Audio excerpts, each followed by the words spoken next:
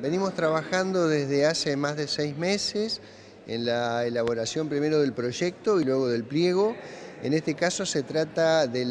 una primera etapa de la repavimentación eh, de la principal avenida pavimentada desde hace muchos años, por lo tanto está mm, en muchos sectores deteriorada eh, y por eso este, se está planteando esta obra. Eh, como decía, va a ser una obra de cinco meses, este, el monto de la obra es de 136 millones de pesos y se está en este momento iniciando la etapa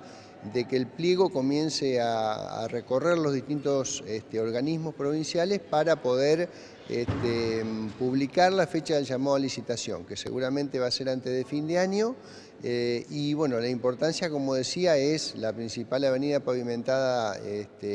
y de acceso fundamentalmente a las grutas. Encontró una buena respuesta de la gobernadora, bueno, teniendo en cuenta justamente la importancia que es eh, para las grutas. Sí, sí, se habló mucho de la comunicación este,